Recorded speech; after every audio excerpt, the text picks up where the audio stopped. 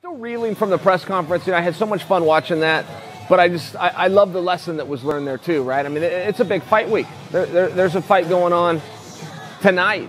Nog and uh, Sam Alvey are fighting. Bellator had a card yesterday. Huge fights between you know Joanna, uh, not champion, is going to take on. Uh, uh, the bullet, yeah, big fight, big fight week, big information coming up. Nothing has come close to controlling the media and the stories and the headlines as the press conference. So, you know, we're starting to see how, how important and, and what a relevant piece of the business that is. And it's always been there. It just hasn't always been recognized. And uh, I'll tell you, you, so much is made of it. You know, people will, will say after they see Conor that, uh, oh, he's a master of mental warfare and things along these lines, which is fun. I can just tell you as an athlete, it isn't true. It, it's, not, it's fun to talk about. And for some reason, the average fan really relates to that. Maybe the average fan has been talked down before. Maybe they had somebody talk down to them and go, "Oh, I got, I, am scared." But in this sport, I, I can assure you that uh, that doesn't, it doesn't matter. The rules are the same. The cage is the same size. The date is the same. Uh, and your skills and your opponent's skills are the same. You're, you're, you're not going to talk him down and, and, and, make him back down like maybe you'd see on the playground. But I think you can have some fun with the topic, and it seems to be a narrative that doesn't go away. I've also found it very compelling that uh, one of the hottest marketing ideas, and I don't think it was intentional, I think this was an unintentional consequence, but who was going to be the main event of Madison Square Garden? It was one of the, the few cards, maybe the only, only one I can remember, that was ever announced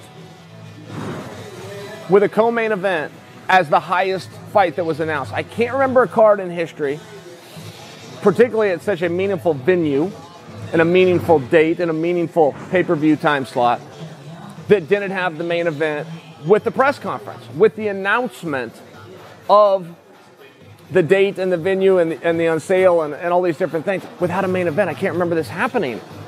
But I think that it has, it, it's not something you can go back to this well very many times. I don't even think it was an intentional move. I think unintentionally, we've all had a lot of fun with it. We keep speculating, we keep talking about it. We've got some clues. We know when the fight's going to be. So we know that the two fighters, the two participants, have to have been notified. They got to be in shape because now you're talking about a main event. So you're talking about a five round fight. You don't do short notice five round fights very often on purpose. So we, we believe that the, the participants have been notified. We've got the Jon Jones information, though we're getting conflicting reports on that. We know that he is eligible. I'm sticking with that belief. But what I'm saying is, it sure has been fun to speculate, right?